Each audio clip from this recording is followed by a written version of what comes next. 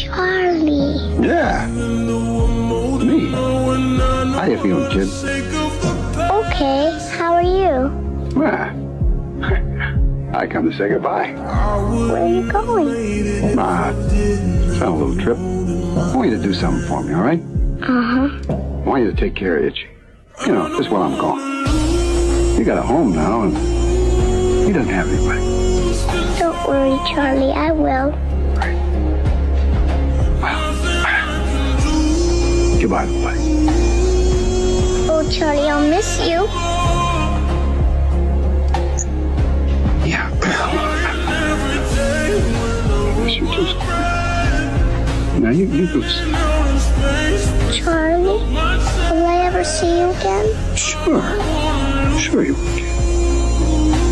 You know, goodbyes aren't forever. Then, goodbye, Charlie.